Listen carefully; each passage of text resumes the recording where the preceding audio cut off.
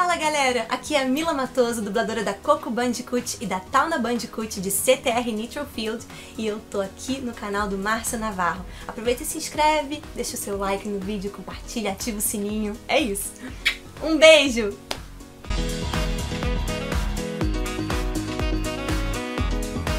Fala galera, Márcio Navarro na área, beleza? Finalmente o grande dia chegou.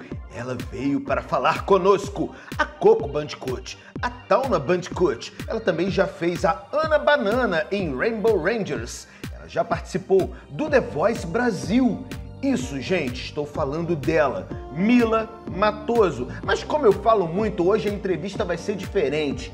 Hoje eu vou só observar, que nem vocês. Vamos assistir a entrevista dela? Um beijo a todos, compartilhem com os amigos, se inscrevam nesse canal, cliquem no curtir, comentem. É isso.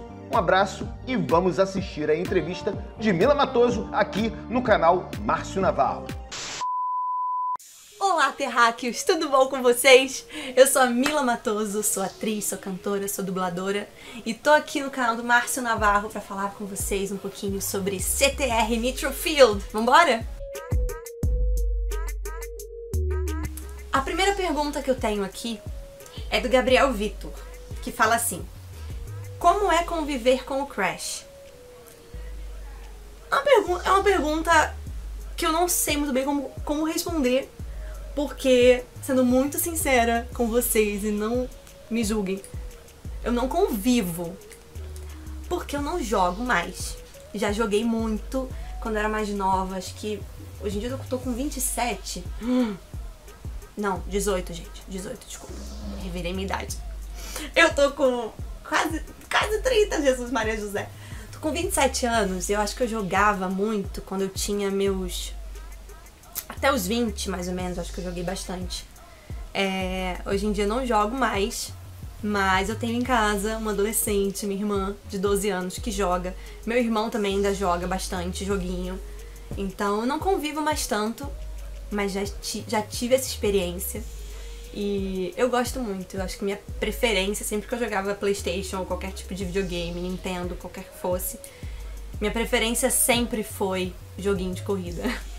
O King Games MCS perguntou o seguinte: Qual foi o seu primeiro trabalho na dublagem? Meu primeiro trabalho na dublagem foi com música, foi cantando. Foi pro canal Little Angel, um, um trabalho infantil, de músicas infantis, com desenhos infantis. E foi ali que eu comecei. Eu comecei cantando, e aí no próprio desenho começaram a surgir algumas falhinhas, eu comecei a colocar fala nos personagens. E a partir dali foi que eu fui sendo chamada para outros. A próxima pergunta é do Gustavo Santana, que diz assim: Pergunta o que ela achou de dublar as personagens e se ela já gostava antes da Coco Bandicoot. Valeu, Márcio Navarro. É... Então, o que eu achei de dublar? Eu achei sensacional. Eu adorei dublar game, achei muito gostoso. É... Não foi o primeiro, porque eu já tinha feito antes é, Call of Duty, eu acho se a memória permite. É... Mas foi o segundo game que eu gravei, eu achei muito gostoso, achei muito legal, porque é uma personagem super divertida e ela ao mesmo tempo que ela é fofa, ela é engraçadinha, sabe? Eu achei é, muito perto de mim, assim, muito gostoso de fazer, sabe? E se eu já gostava antes da Coco, sim, já gostava, apesar de eu não ser aquela pessoa viciada em game, sabe? Eu não era aquela pessoa. Eu nunca fui aquela pessoa que jogava e sabia o nome de todos os personagens, decorava tudo. É, eu curtia muito estar ali junto com meu irmão, com os meus primos, jogando.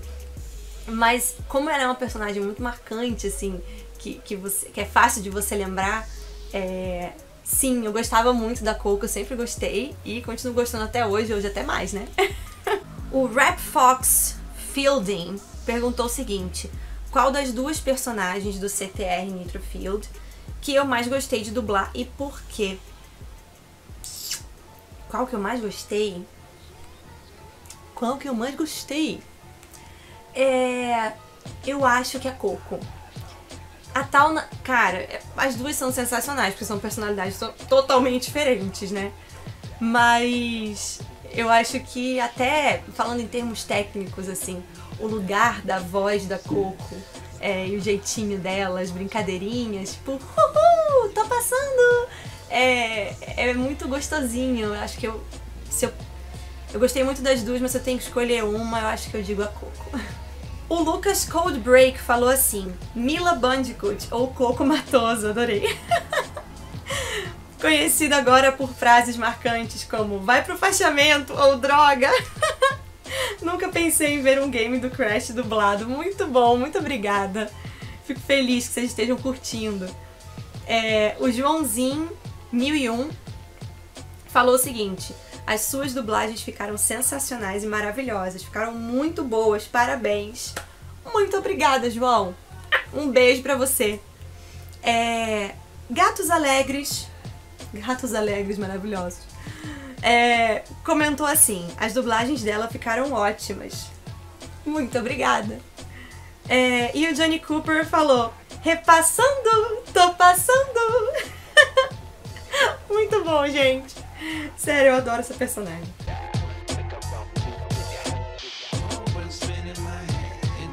Um pouco sobre minha carreira artística para vocês. Então, gente, para quem não me conhece, eu me chamo Mila Matoso e assim como eu falei, eu sou cantora, eu sou atriz, eu sou bailarina, eu sou dubladora e, gente, faço tanta coisa. Eu edito também. A gente que é artista, a gente tem que se virar. A gente vai, ó, aumentando só as cartas no jogo. Mas é, eu comecei na arte, no meio artístico em geral. Eu comecei quando eu tinha 4 anos, dançando. E aí dancei minha vida inteira, danço até hoje. É, e depois eu fui pro teatro e aí depois é que veio a música. E acabou que hoje em dia a música ela toma conta da minha vida, né? Até que muita gente, eu acho que me conhece mais pelo trabalho como cantora. E eu fico muito feliz de estar vindo aqui mostrar um pouco mais do meu trabalho como dubladora, que é recente, né? Já tem aí. O tempo tá passando tão rápido, o tempo passa tão rápido, que na verdade já tem dois anos. Mas é recente, né? É... E dublagem foi o que veio por último. Mas assim, já veio com um desejo, uma vontade muito grande, porque é, eu sempre trabalhei como atriz e sempre tive um trabalho com a voz. E sempre foi um desejo que ficava aqui dentro de ir pra dublagem também, sabe? Eu sempre trabalhei fazendo peças de teatro é, e acabou que em 2016 eu participei do programa The Voice e foi um game changing pra mim, foi, trocou foi totalmente assim, o pulo do gato.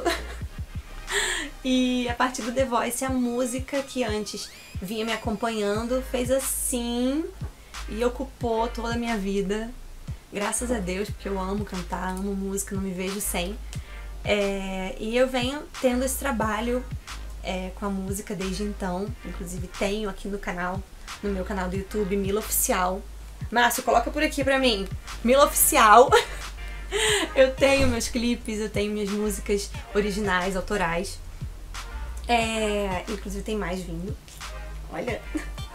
E, e a dublagem veio é, alguns anos atrás, quando eu resolvi começar a fazer um curso que tinha ali perto da minha casa, eu morava no recreio.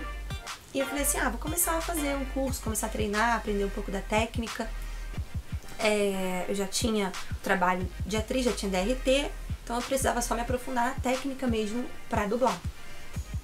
E foi muito rápido que assim, no curso, é, já a Fê já comentou comigo, falou, olha, você tá pegando rápido, você tá aprendendo super rápido, já me colocou pra fazer um teste.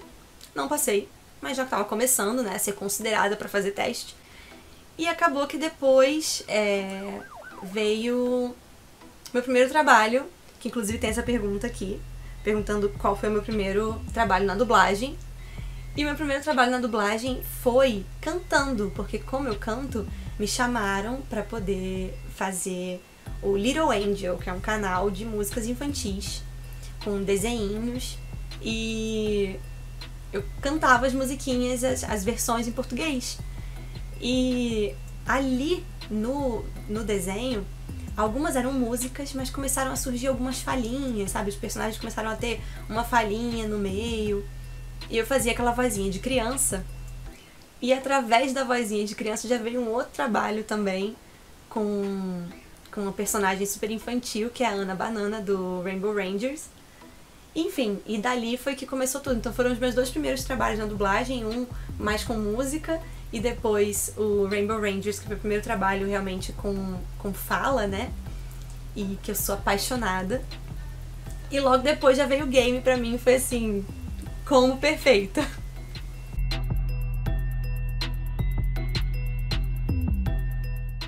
As maiores dificuldades na profissão são tantas. Eu acho que a gente que vive de arte, né? Nossa, a gente já escolhe o caminho mais difícil. É, a gente já escolhe o caminho do amor, caminho do, da felicidade, mas também é um caminho que é mais complicado, a gente sabe, né? Mais tortuoso. É, eu acho que.